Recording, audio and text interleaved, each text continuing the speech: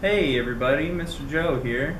This week our theme is community helpers, which are people in our community who help us in different ways. So I'm going to read you this book called People in My Neighborhood.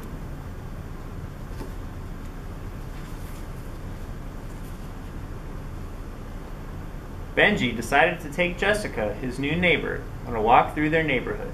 He wants her to meet all of his special friends.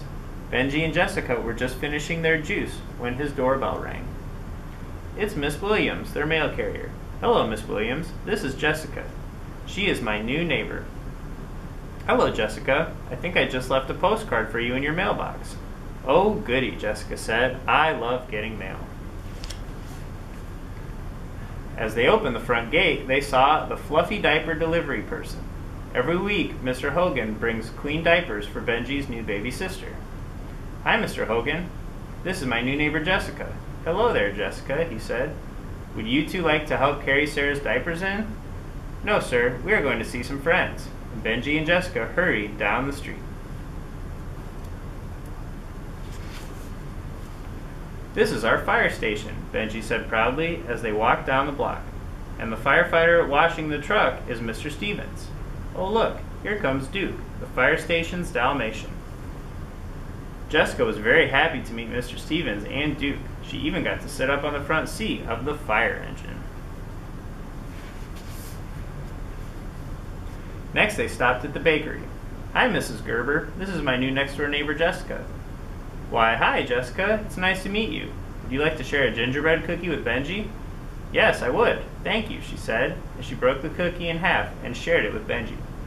You have very nice friends, she whispered to Benji. Benji and Jessica walked to the corner and waited for the crossing guard to tell them they could cross. Benji introduced Jessica to Mr. Weber as he walked them to the other side of the street. When school starts, I will see you every day, Jessica said. You're right, Jessica. Be sure and wait for, for me to cross you. Oh, I will. And the two friends walked down the street to the library.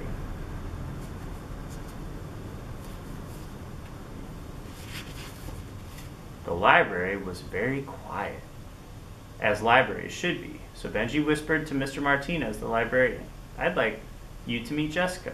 She's my new next door neighbor, and she wants a library card. Mr. Martinez was very happy that Jessica wanted a library card. He took care of her right away. Goodbye, she said softly as she waved to the librarian. I'll be back very soon.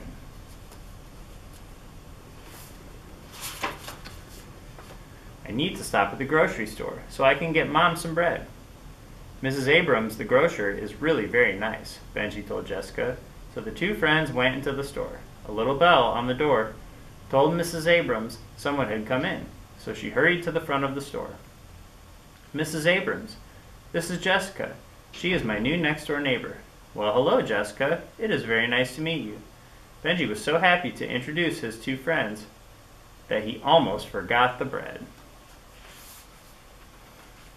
When they finally got home, Benji and Jessica were very tired. But Benji found there was one more person he wanted Jessica to meet. It was the ice cream truck driver who was just pulling up in front of Jessica's new house. The end. All right, we'll see you guys next time.